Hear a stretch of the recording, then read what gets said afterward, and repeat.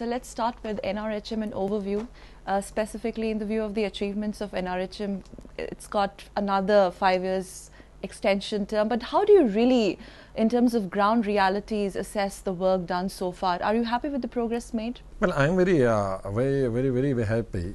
And uh, of course, the size of the country is huge, and uh, uh, it is uh, one can never say that whatever we do and is perfect. So, to have a perfection in, with the size and population of a country and a uniform perfection is always very difficult in our country. But uh, by and large, I can say that this NRHM has brought revolution in our country. In spite of the fact that health is a state subject, mm -hmm. and uh, since the federal government in 2005-6 chipped in, it has uh, made uh, I think a lot of difference in the healthcare because our objectives since we launched this national health mission was to strengthen the uh, you know the infrastructure of the country. And uh, we also wanted that uh, affordable drugs should be provided uh, to our countrymen particularly those who are poor. So i can say that today uh, we have almost 25000 new hospitals i'm not talking about the big hospitals and AIIMS and all that. I'm talking about the uh, uh, rural area, district and below. About 25,000 hospitals have been uh, newly constructed, and as many as 25,000 have been augmented. So, total 50,000 hospitals in just nine years' time is a big. So if we talk about the state of hospitals, the government hospitals specifically, we know that the center is doing much in terms of providing money, but the fact of the matter is that uh, in terms of infrastructure, in terms of medical facilities, I'm specifically talking about state of government hospitals. Don't you think a lot needs to be done there? Yeah, yeah. No, the first of all, the infrastructure was inadequate. That was not in proportion to the population. Maybe whatever hospital, district hospital was constructed uh, 40 years back or 50 years, and 40 years back the population was one third of the population what we have today. So it was not augmented. Some hospitals were constructed about 60 years back and no new construction had come up. So we had to construct a fresh. So I think one of the biggest thing has happened that at least the augmentation of the infrastructure has taken place and uh, the new hospitals have been created. So first is the infrastructure. Right. That is most important. And then second part is the human resource. So human resource is totally inadequate because whatever we have uh, uh, whatever number of doctors we produce, mm. few of them leave, they go to uh, other countries. You will be surprised that in United States of America, uh, the registered number of doctors which I uh, happen to address them is 61,000 and those who are not registered they are another 20 to 21,000. So in United States of America alone the doctors of Indian origin are about 81 to 82,000 Similarly, in UK, the doctors of Indian origin are between 70,000 to 75,000. When we talk about the Gulf countries, the number is again 50 to 60,000 countries. And there are smaller countries in Australia. But they're better off in terms of doctor-patient ratio. So, so that's why uh, we are suffering. And then we have another problem. The problem is not in the southern part of the country and the western part of the country because uh, almost 75 percent uh, medical colleges are located in private sector in the southern and western part of the country. And it is also the government, most of the government colleges are also located in the southern and western part of the country. So rest part of the two-third part of the country, that is central India, northern India, eastern India, northeastern India, we have very few government medical colleges and we have very few uh, private medical colleges. So, so are we doing something in a direction? No, we have done. I think uh, in the past four years, because this is one of the areas which I identified as health minister and chief minister in Jammu and Kashmir, okay. that unless we bring some change, unless we increase the uh, human resource, so that's why the first priority after taking over as health minister was to change the rules of the Medical Council of India, okay. to rationalize the uh, land use. The earlier the land use was huge, but now when uh, this medical uh, council of india was uh, conceived that time in 56 there was no dearth of the land. So land has been received, uh, reduced. The buildings have been reduced. Uh, size of the building almost 25 percent capital cost has come down. So it has been made uh, more attractive to set up a medical college then there was a cap irrespective of whether it's a private medical college or a government of medical college the intake for a graduate that is for mbbs was fixed at 150 irrespective of the size of the building beds and si- uh, you know the number of the faculty you have. So that has been uh, you know capped at uh, uh, 250 instead of 150 so as a result of which the more intake of uh, uh, undergraduates now we had now a lot of private sector has come up during this period. And uh, whatever number of doctors or specialists super specialists we had in government sector they moved most of them to the private sector. As a result of which uh, we didn't have the faculty in the government medical colleges. We didn't have the you know the specialists and super specialists in the private in the government uh, uh, this hospitals. So to overcome to that uh, overcome the shortage we took two three decisions. First of all the student ratio student teacher ratio. The earlier student teacher ratio that means a professor and a additional professor could only teach one md student irrespective of the stream one professor for cardiology will teach one uh, oncology one neurology one. So that we change that one professor can or additional professor can teach two. And in some critical areas one professor can teach three. Okay. so as a result of which the number of the seats in pg have increased almost by 70 percent. So this is a huge just with one stroke policy decision the number has And uh, the in- increased. intake of students, students. obviously must have and most of the medical colleges were new medical colleges were not coming up because the there was a shortage of faculty medical teaching faculty. So we took three important decisions to increase the faculty. You may have a money to set up a college but you can't uh, with money you can't produce a faculty. So to increase the faculty we did three major things. First of all we increased the age of the faculty through medical council of india from 58 to 70 Okay. so it's a huge so now you people will not retire so you have availability of the faculty with you. Similarly we recognize the degrees of five english speaking countries.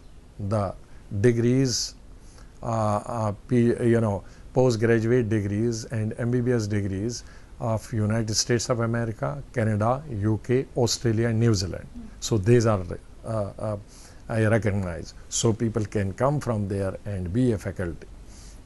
Similarly dnb dnb could not become the faculty member. So we recognize also that dnb can be a faculty so i think this is also to how to increase the faculty. We have taken these steps. How to increase the md seats we have done one is to two one is to three student ratio. Right. so that has taken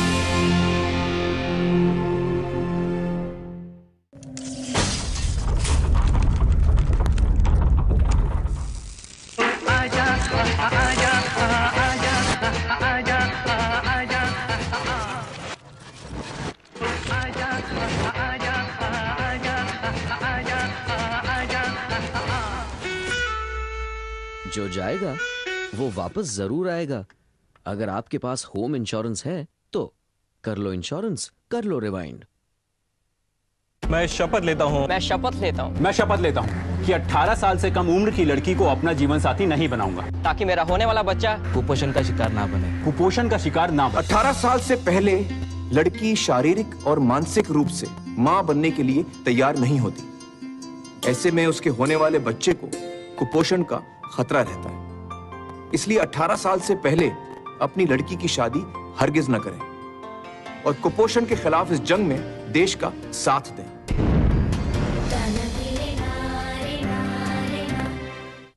ये presentation में add कर लेना। बाकी अगर कोई बात करनी हो तो मुझे फ़ोन कर लेना हाँ? cheer बेटा तुम्हारी इलेक्ट्रॉनिक डॉल और बड़ा सा टेडी बेयर दोनों तुमको मिल जाएँगे। लेकिन एक कंडीशन है अगले एग्ज़ाम्स में अच्छे मार्क्स ले आओ। वो तो मैं लाऊँगी पापा।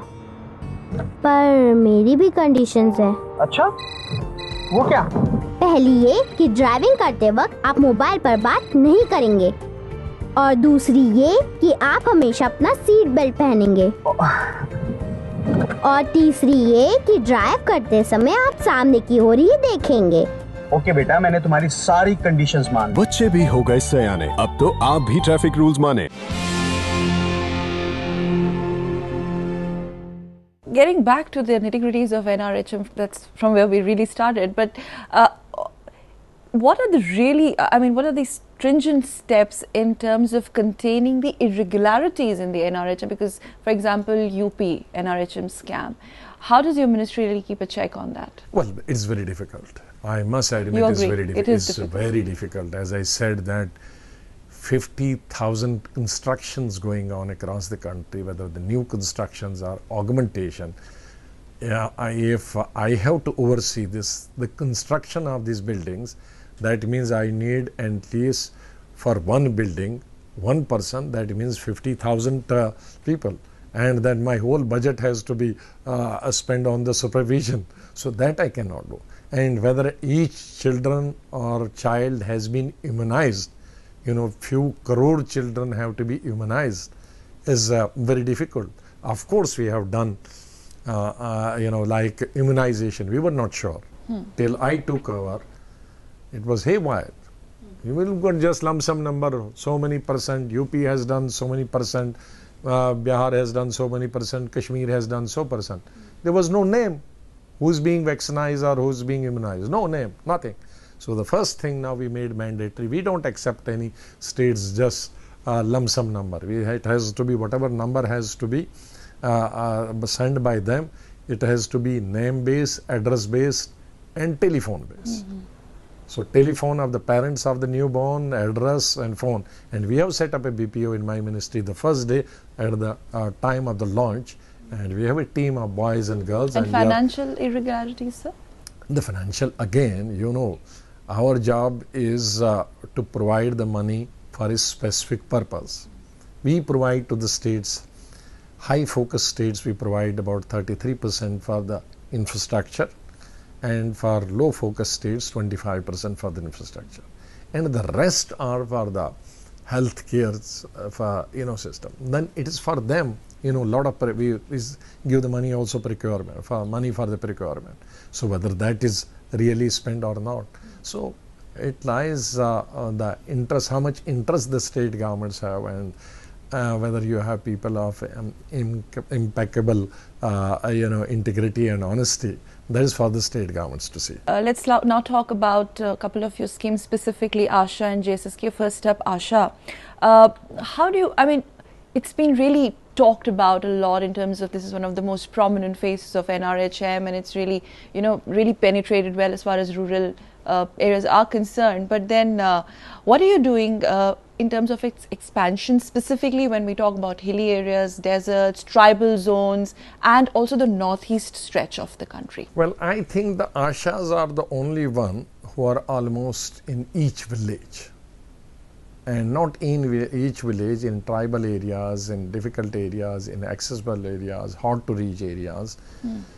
We don't mind, of course, the basic was basic purpose was to provide one Asha on 1,000 population. Hmm.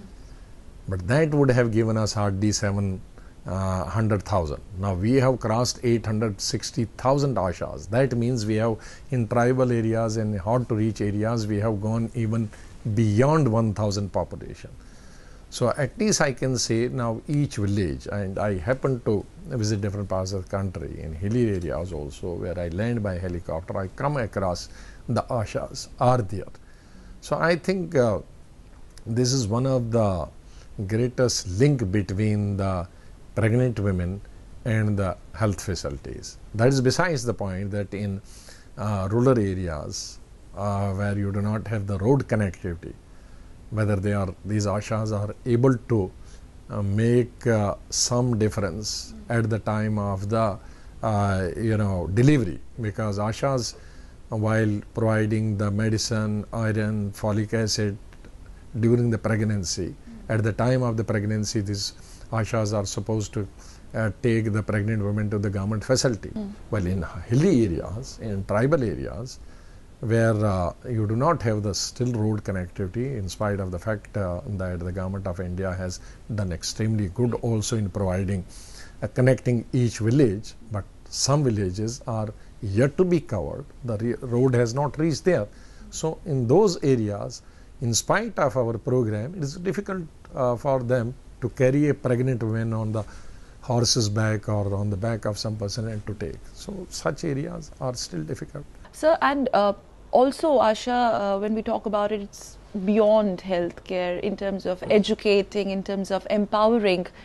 Ashas also, I mean, they also belong to the same uh, area. Uh, and, and the skill development. But skill development is the one of the basics.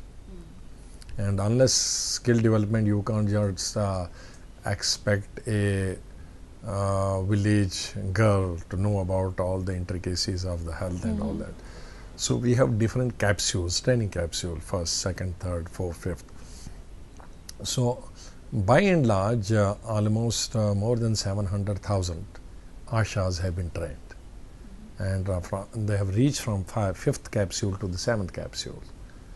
So that's an ongoing program. Whatever new program we might launch for that new program is a new training capsule for that. so it is not that uh, they are totally raw. Sometime I get, uh, you know, the delegation from different parts of the country. Of course, they have their own problems. They want salary to be increased, incentive to be increased.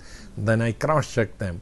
I just take them, want to know whether they know something, and they definitely know. And few of them I was surprised, as are are hardly primary pass, but they know a lot of uh, things about. Sir, in JSSK, um, in one of your interviews earlier, you said that, uh, in fact, it, it really uh, marks, it, it's, it's revolutionized the healthcare sector. But do you really think, in terms of free entitlement reaching to the last poor, uh, how do you really ensure the implementation well, uh, bit? well, JSSK, Janani Shishu Suraksha Karyakram, which uh, was launched by Mrs. uh, Sonia Gandhi in uh, September 2011 from Rajasthan, from Mewar district. Hmm.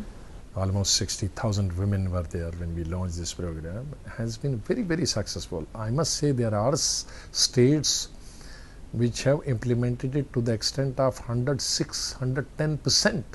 106. I can again, as I said in the beginning, it is not uniform. It depends on the minister concerned, the state government concerned, the chief minister concerned, the what type of mission director you have, what type of health secretary we have, and what type of continuity you have. Now, like in Delhi, well, I stuck to my portfolio. I must thankful to both Mrs. Gandhi and Prime Minister. I told them that I would like to be here complete five uh, five years because if somebody comes, it may take him some time, how so efficient he or she may be, but the one who conceives the child, he can nourish child much better way than the adopted mother. So, what is happening in the state governments, in the most of the state governments, the frequent changes of the ministers, the frequent changes of the secretaries, the frequent changes of the mission directors. The That's frequent, an obstacle, sir? that is a great Major obstacle. challenge. There's a great obstacle. Well, I must uh, thank the Prime Minister and Cabinet Secretary that whenever there are officers change in my ministry, I tell them that I cannot take somebody from Congress, uh, from uh, you know, uh, commerce or agriculture or food processing, who it will take at least one year to understand IMR, MMR. So I would select the those uh, people who have worked as the either they are working as the health secretaries in the states or have been health secretaries two or three years back. So that gives me an added advantage. Last year I had almost 10 secret, joint secretaries have gone, but they have been replaced by the secretaries who have been either sitting health secretaries or ex-health secretaries maybe from down the line. So it didn't take them time to understand.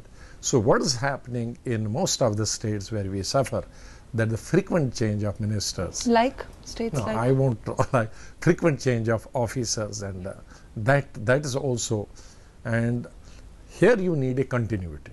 You need a continuity. So some states were, and this uh, JSSK, as I said in the beginning, this is one scheme.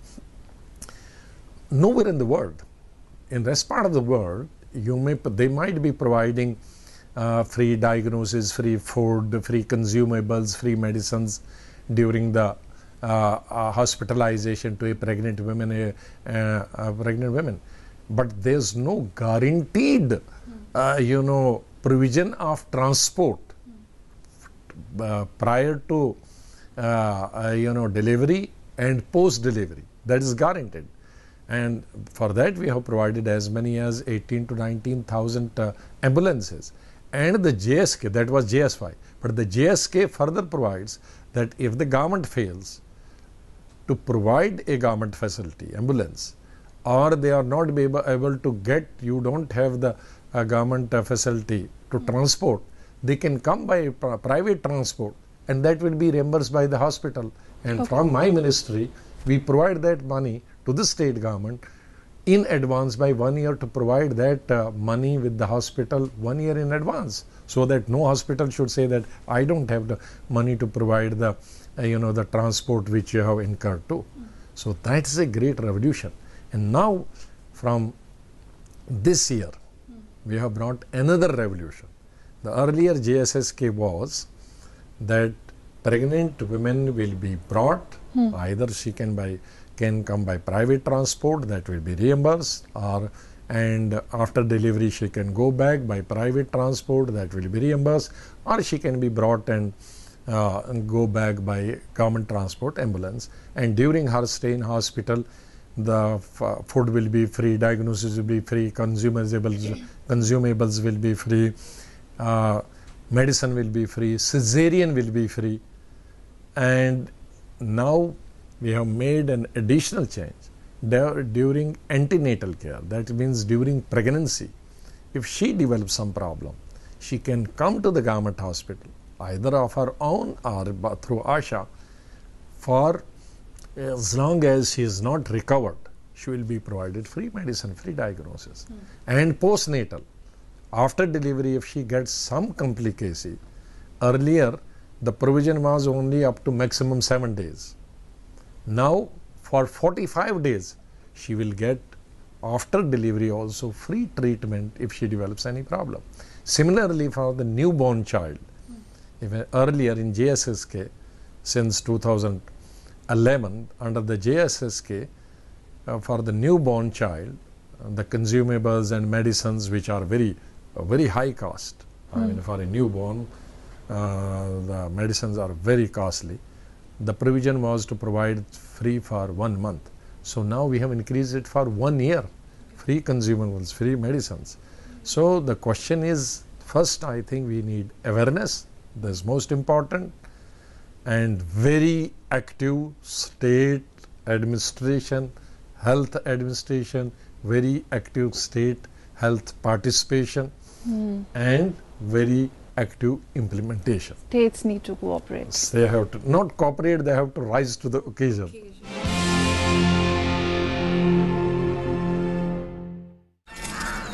Priyanka Bharti हाँ ए शारदा विमल हरिया सब इधर आओ ये प्रियंका बहुत नाम है इनका। अपनी इज़्ज़त और स्वच्छता की खातिर अपने लगन के दूसरे दिन ससुराल छोड़ने की हिम्मत दिखाई और अपने मर्द से शौचालय बनवाने की मांग की। सुना उसने? जब सोच और इरादा नेक हो तो सब सुनते हैं जैसे इसके मर्द ने सुना।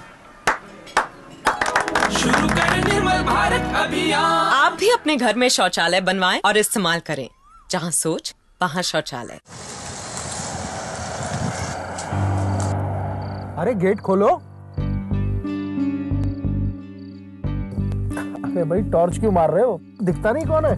माफ़ करना साहब आपकी हाई बीम ने मुझे अंधा कर दिया इसलिए चेक करना पड़ रहा है। मैंने देखा है कि लोग हाईवे पर हाई बीम का इस्तेमाल करते हैं। लेकिन साहब आप तो कॉलोनी में ही।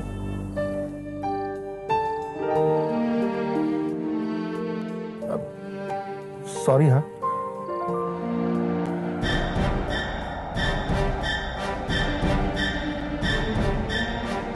लो बीम पे चलें सेफ़ चलें। अरे सुन तो।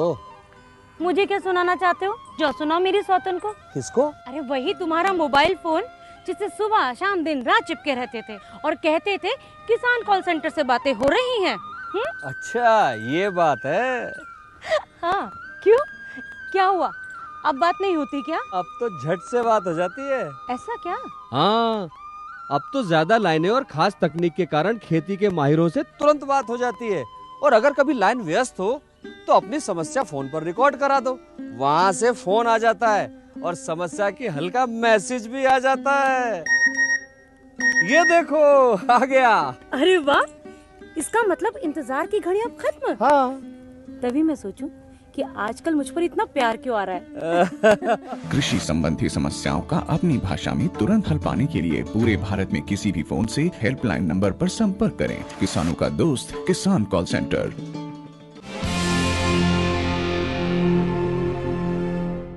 So, final word now, uh, since you said that states need to rise to the occasion without the help of state, without them really coming on board with uh, you, it's not possible when we talk about uh, um, uh, the universal health coverage, which UP has been really talking about, really, really see it becoming reality because the fact of the matter, uh, Honorable Minister, is that uh, we still uh, have a very uh, poor doctor patient ratio. I mean, 1 is to 2000, if I'm Well, uh, I, I won't say not only 1 is to 2000 in some states, I won't I would not like to mention is 1 is to 4000 also. Okay. It's so 1 is to 2 ra- becomes a average. So, having said that, So, sir, uh, uh, y- uh, universal health coverage when it will become a reality. So far, I have done our bit, my bit, to increase the human resource.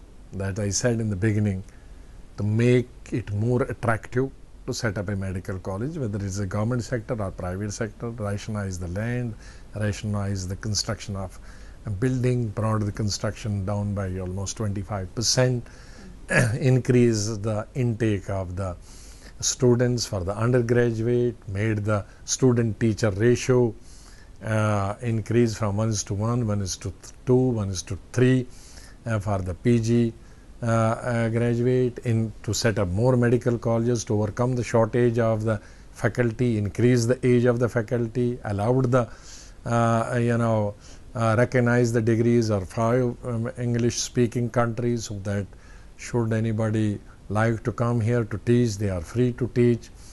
DNB degrees have been recognized to become the faculty members. So, these are all the initiatives which we have taken at the federal level, at the central government level. Now, it is for the state governments to set up more medical colleges in the government sector, to convince more in their respective states, those who are uh, well off people, to set up more medical colleges. And unless we have almost the double the medical colleges, we have as many as 362 medical colleges at the moment, and 672 medical colleges have come up in the last uh, uh, four years only. I am hoping at least 15 20 more medical colleges in this uh, year within next two three months. Hmm. But ultimately, uh, this is a subject, this is not like defense, finance, and railway that we can do everything centrally. This is a state subject. I think we have already uh, walked not extra miles, few extra miles. Which, And uh, you need these states to work with you as well, obviously. No, now they have, they have to keep pace with us. Thank you very much, sir, for talking to me Thank you very much. Thank you. Pleasure.